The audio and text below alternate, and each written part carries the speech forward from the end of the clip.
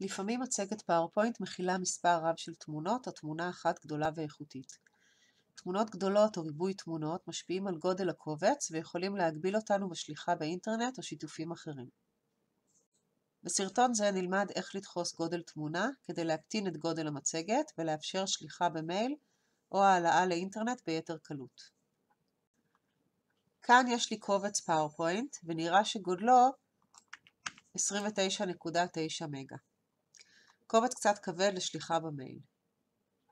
נפתח את הקובץ ואפשר לראות שיש פה הרבה תמונות שהורדתי ממאגר והרזולוציה שלהן כנראה גבוהה, לכן כדאי לדחוס את התמונות כדי להקטין את גודל הקובץ.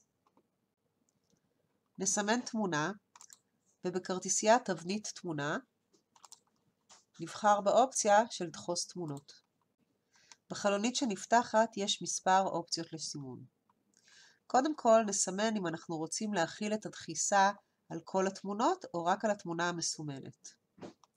אני רוצה להכיל את הדחיסה על כל התמונות ולכן אני אוריד את ה-V שיש פה. בשדה רזולוציה נקבע את הרזולוציה של התמונות. אם נרצה לשלוח את המצגת במייל, כדאי שנבחר באופציה של רזולוציה נמוכה שמומלצת לדואר אלקטרוני 96. להעלאה לאינטרנט אפשר לבחור באופציה הזאת, שהיא מעט יותר איכותית. האפשרות של הדפסה 220 ו-330 זה כבר רזולוציות של הדפסה והקובץ יהיה גדול יותר. נאשר את הבחירה ונשמור בשם אחר את הקובץ.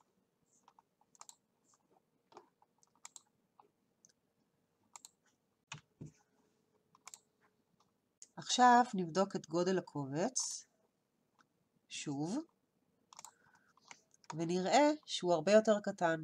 זה הקובץ החדש שלי, ששוקל 3.179, זה הרבה יותר קל ממה שהיה קודם.